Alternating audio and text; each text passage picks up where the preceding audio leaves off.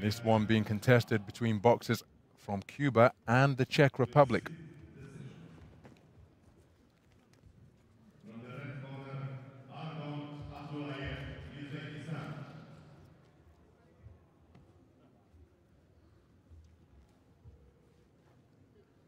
Valery Pashutov of Moldova is the referee in our final contest of the evening.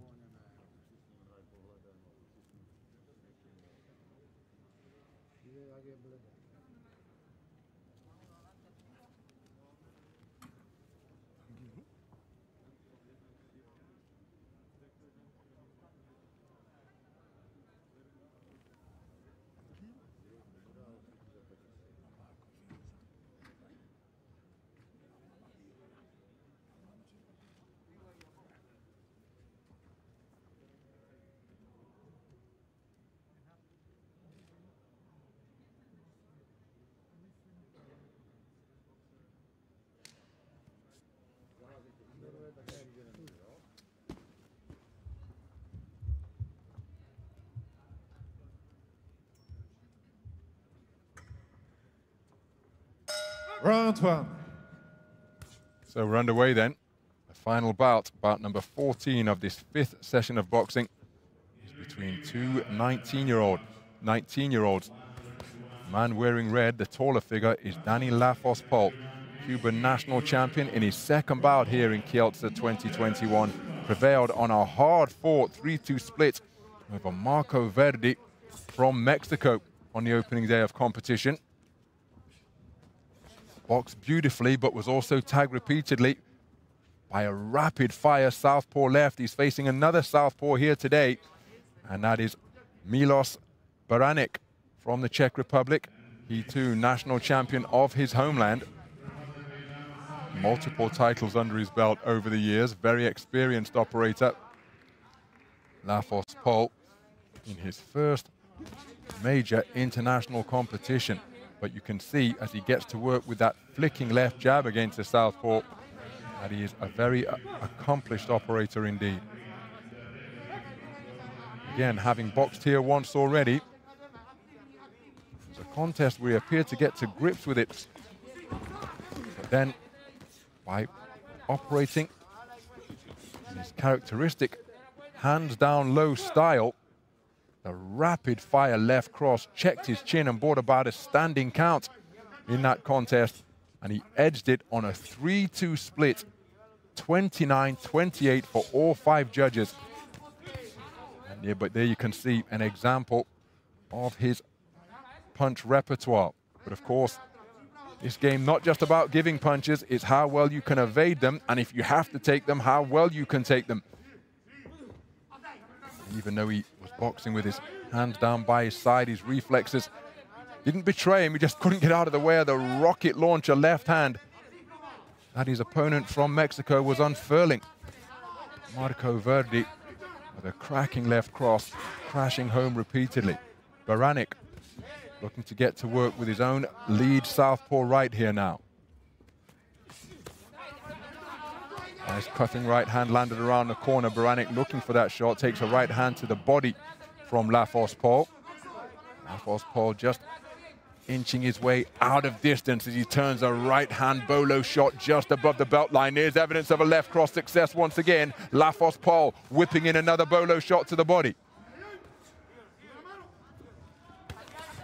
So you can bet that the coaches of Baranek will have watched the opening contest of Lafos Pol as the Cuban boxer goes downstairs with another whipping right hand to the torso. Looking for the same shot once more to the midsection. He's used that repeatedly, and it's proving to be a profitable punch. Very good round of boxing.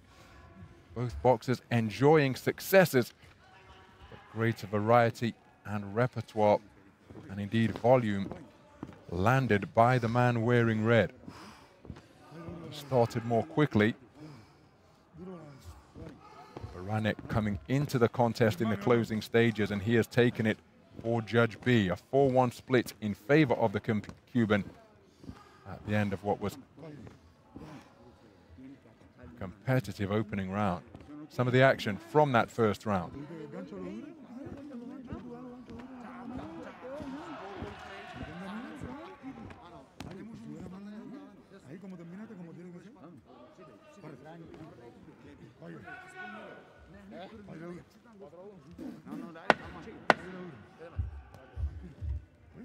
Second out, please.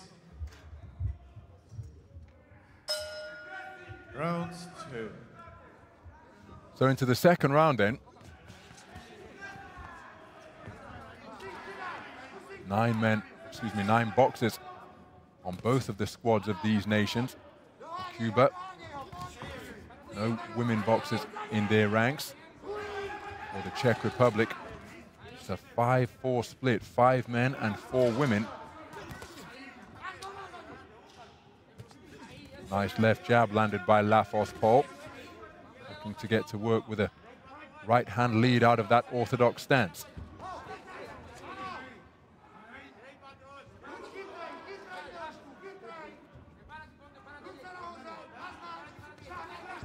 So Baranek looking to establish his southpaw jab. Nice bolo shot to the body once again, and then a straight right hand right down the pipe from Lafos Pol.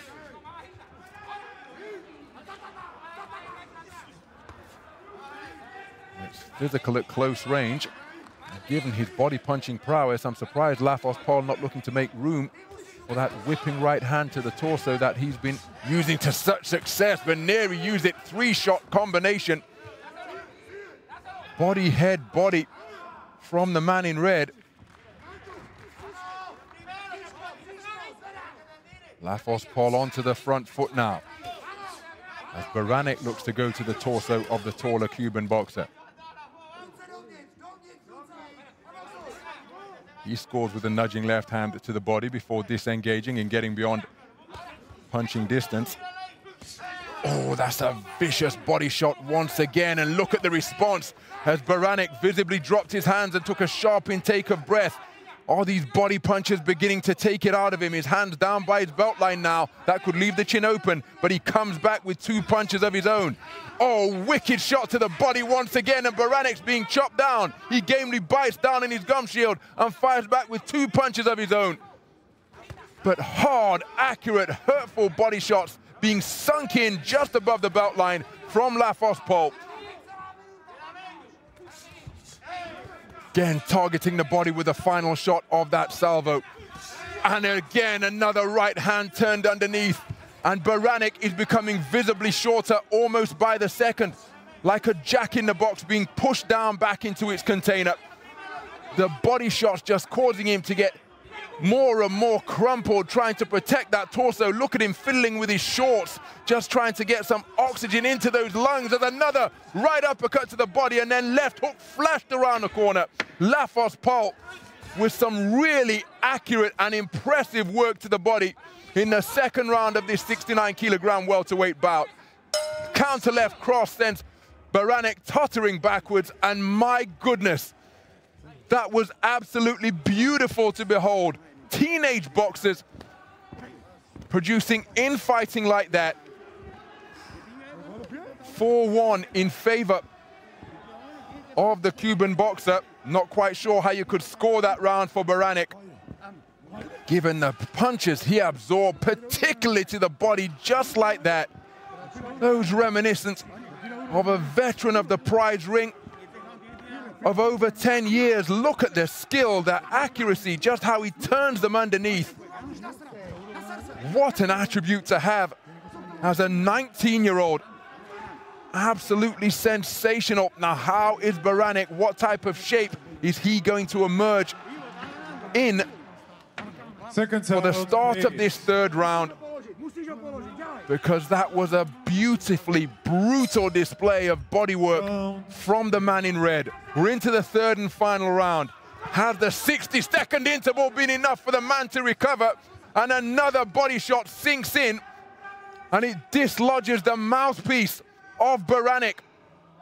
Terrific body punching in evidence from Lafos Pol from both flanks. But the right hand, look at that.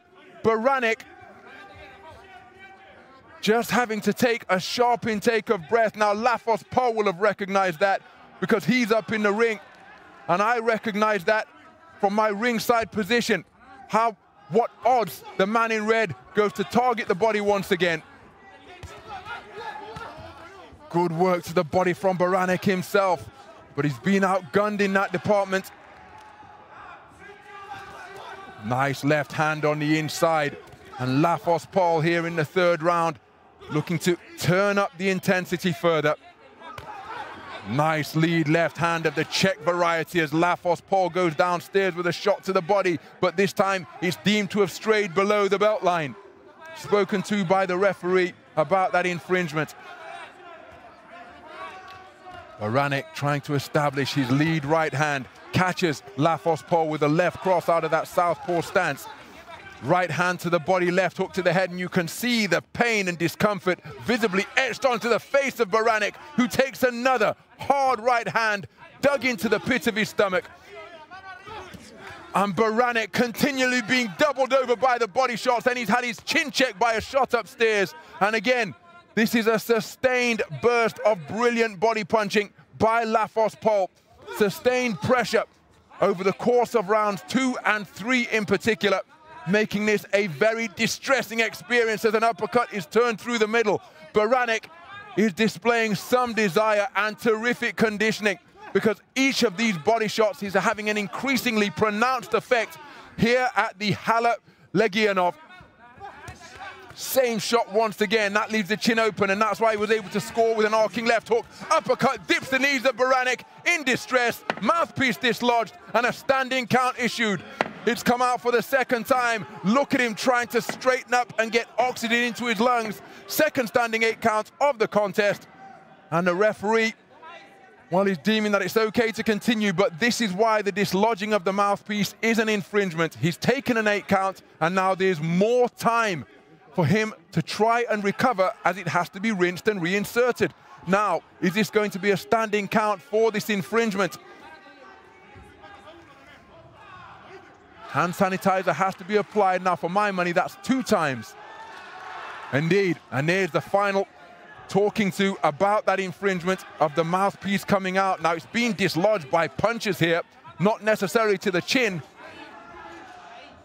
but the shots being whipped into the body, just causing Baranek to exhale with such force that the mouthpiece was shoved out on that second occasion. And again, Lafos Pol continuing to target the torso of the man in blue.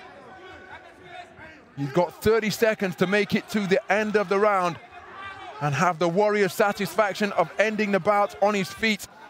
He's plenty tough, is Baranek, the man from the Czech Republic. He's still looking for the shots to try and compete. He scores with a left hook upstairs after he takes another shot to the body from the bruising, bustling punches of Danny Lafos Pol.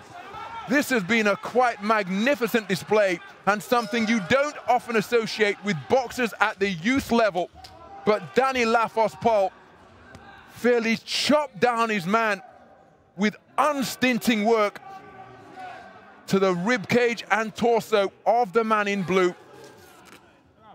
And Baranek, well, you can bet that his work of, uh, on the medicine ball will have paid dividends in preparation for this tournament because he was tattooed repeatedly to the torso and rattled around the ribs by some accurate, hurtful, spiteful body punching that was dug in over the courses of, course of rounds two and three in particular from Danny Lafos Pol. Merciless from the man in red Let's get the verdict. The winner of this bout by unanimous decision is the boxer from the red corner, Lafos Pol Dane Landis, Cuba. Well, there is confirmation of a unanimous points decision victory. Those are the scores. Not from the end of the contest, but from the middle of the contest after two completed rounds. Danny Lafos Pol in complete control over the course of that contest, and there is confirmation of a unanimous clean sweep of the third and final round to take it unanimously and progress through to the round of 16